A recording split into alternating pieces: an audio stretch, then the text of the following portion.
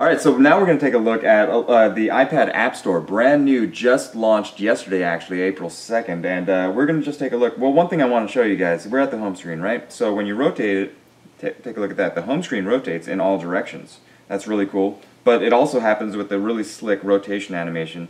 Uh, nice and quick, very responsive, thanks in part to the uh, A4 1 gigahertz processor in here and all the graphics technology bit built in. But anyway, what we're going to look at is the App Store. So just go into the home screen, you tap App Store, and you're taken right to a very familiar familiar layout. Um, if you've seen it on the iPhone, you've seen it on your desktop in iTunes, very similar. you are given the cover flow, the featured apps up here, the spotlighted apps. You can just kind of pan across and slick uh, slide your finger for sl uh, slide gestures.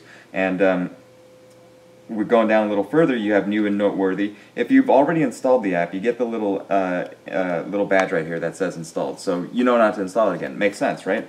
Well, if you come across something that you want to install, say Kayak Flight, and that guy is free, just tap the, tap the app and you're taken to a full overview of the app. It looks a lot like the iTunes Store on your desktop. You've got your reviews, your ratings, you've got um, you know screenshots. This one's only got one. But um, from here, you tap the free button. It'll change to install app. You tap that, and it'll kick you right out, and you'll start installing your application. It'll download, install, and do everything for you. While that's going on, though, you can actually go back into the App Store. So that is a little bit of multitasking. So there is no real third-party multitasking, but your native apps will multitask in the iPad.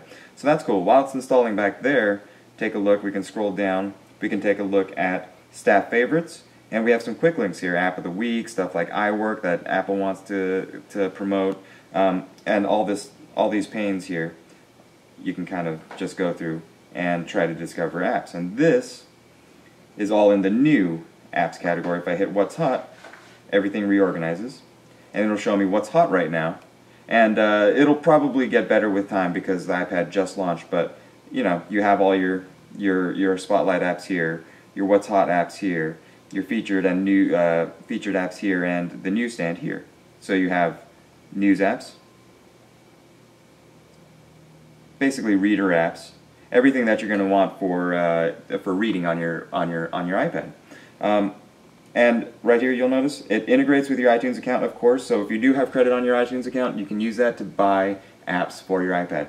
So um, yeah, quick little look at the App Store for your iPad and uh, we'll bring you more. Stay tuned.